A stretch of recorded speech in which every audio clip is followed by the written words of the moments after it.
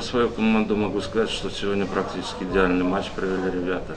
Очень хорошо двигались, контроль мяча хороший был. Ответные атаки проводили хорошие. Прессинговали в середине, накрывали соперника. То есть только положительные эмоции от этого матча. Вот. Но ребята сейчас на ходу, мы с Нафтаном также легко разобрались и другими командами играли. То есть сейчас команда в хорошем состоянии. Могу похвалить ребят, что они профессионально относятся к делу до конца. Играют, стараются, двигаются. Не, не бросили играть при крупном счете, продолжали играть. Что очень хороший матч в нашем исполнении был.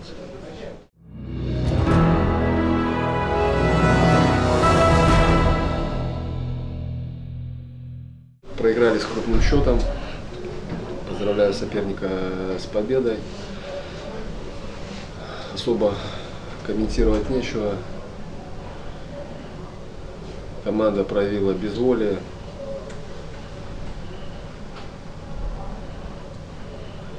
Характера вообще нету. Желания играть в футбол нету. Решающий матч, а мы просто по полю отходили. Люди, можно сказать, не уважают ни себя в первую очередь, ни болельщиков. Поэтому больно на это смотреть сейчас.